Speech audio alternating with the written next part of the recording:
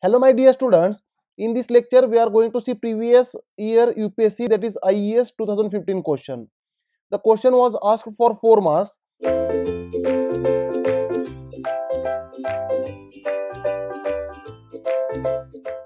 The question is a single plate clutch is designed to transmit 10 kilowatt power at 2000 rpm. Now here power transmitted capital P is equal to 10 kilowatt we can say equal to 10 into 10 to the power 3 watt.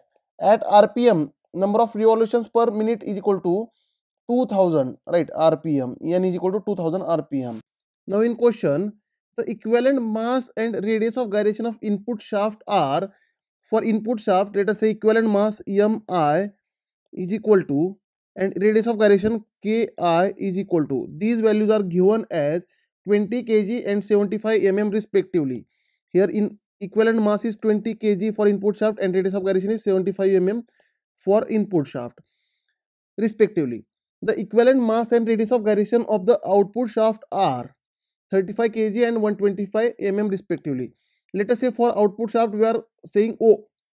Therefore MO is equal to 35 kg and radius of gyration KO is equal to 125 mm respectively.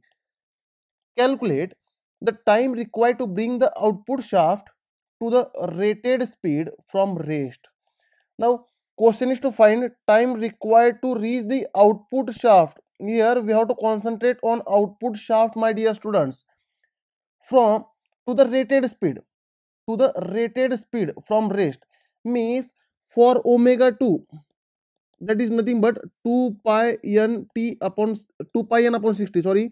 To the rated speed which is nothing but omega 2 is equal to 2 pi n upon 60 from rest that is omega 1 is equal to 0 from 0 speed to this much speed how much time required to bring the shaft right and en is given that is 2000 rpm now let us solve this question now can i say power is equal to 2 pi n t upon 60 therefore put the values power is given 10 into 10 to the power 3 is equal to 2 pi speed is given 2000 speed is given 2000 into torque t is unknown divided by 60 now from this equation if you calculate torque torque transmitted will you will find 27.746 the answer will be newton meter from this power formula that is power is equal to 2 pi into upon 60 if i put power in watt then answer of torque will be newton meter right this is the torque transmitted or torque need to be transmitted.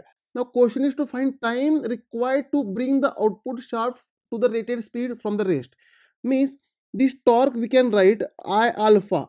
In terms of dynamics in engineering mechanics this torque is equal to mass moment of inertia i is mass moment of inertia into angular acceleration. Now we have to calculate for output shaft therefore this acceleration must be used for output shaft. For output shaft right therefore this i must be for output shaft. I must be for output shaft. Right therefore this i for output shaft is equal to can i say m i is nothing but mk square. Mass moment of inertia i is nothing but mk square. Therefore for output shaft it will be output mass output radius of gyration square. Right therefore torque is equal to i can say m naught k naught square into alpha now in this equation only alpha is unknown. Calculate alpha angular acceleration of output shaft. Therefore alpha of output shaft is equal to torque divided by m o k o square is equal to it is nothing but 47.746 divided by mass of output shaft is 35 radius of gyration is 125 my dear students as radius of gyration is 125 mm therefore torque we have to use in newton mm therefore it will be 47.746 into 10 to the power 3 Newton mm. Therefore, this will become into 10 to the power 3 Newton mm divided by radius of gyration is 125 square. Now, if I find angular acceleration from this calculation, this alpha you will get 87.307 rad per second square. This will be the angular acceleration of output shaft. Because the question is to find time of output shaft, therefore we have to use angular acceleration of output shaft only therefore this angular acceleration we have calculated alpha is equal to 87.307 rad per second right? Now what is the final angular angular speed? Omega 2 is equal to 2 pi n upon 60 which is nothing but 2 into pi into n is 2000 divided by 60 right? This is the rad per second this is final angular speed and uh, initial angular speed is 0 omega 1 is 0 now what is the dynamic equation that is final speed is equal to v is equal to u plus at this is for linear motion. And here final angular speed is equal to initial angular speed plus angular acceleration in time. This is for angular motion. Omega 2 is equal to omega 1 plus alpha t. Now put the values.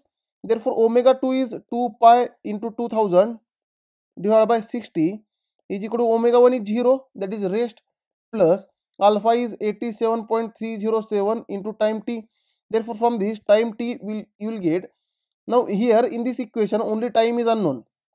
So solve for time t. Then time t you will get 2.398 seconds. And this is your answer for this question. Thank you dear students. In next lecture we will see one more numerical on plate clutch